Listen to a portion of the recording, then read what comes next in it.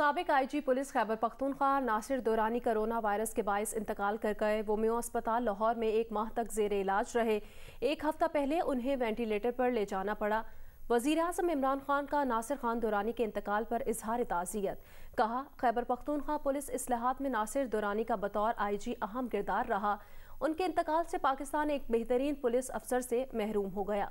नासिर खान दुरानी के हवाले से लाहौर से मियाबिद की रिपोर्ट देखिए।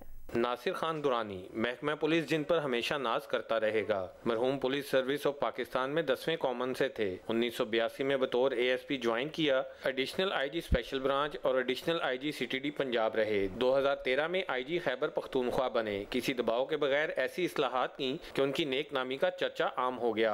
आई शिप के पाँच सालों में शहरियों से नारवा सलूक पर पाँच हज़ार पुलिस अफसरों और अहलकारों को कड़ी सजाएँ दी। सिर Khan Durrani safe city project rapid response force और पुलिस स्पेशलाइज्ड स्कूलों के बानी भी थे उन्होंने इन स्कूलों के ज़रिए कम्युनिटी पुलिसिंग को फरोग दिया जिससे जराइम का सदेबाब हुआ पुलिस और शहरियों के दरमियान फासले सिमट गए अक्टूबर 2018 में रिटायर हुए तो वजी इमरान खान ने नासिर खान दुरानी को पुलिस रिफॉर्म्स कमीशन पंजाब का चेयरमैन बना दिया पुलिस असलाहत पर काम शुरू ही किया था कि आई जी पंजाब मोहम्मद ताहिर की तब्दीली पर हुकूमत से खफा हो गए और अहदा छोड़ दिया हुकूमत ने बाद में उन्हें chairman Punjab public service commission बना दिया यहाँ भी इम्तहान और मार्किंग का जदीद और फुल प्रूफ निज़ाम मुतारिफ कराया। साथ ही पुलिस अफसरान कहते हैं कि नासिर खान दुरानी ने पूरी ज़िंदगी असूलों पर समझौता नहीं किया। उन्होंने सोगवारों में बेवा और दो बेटे छोड़े हैं। मियाँ अभी जियो न्यूज़, लाहौर।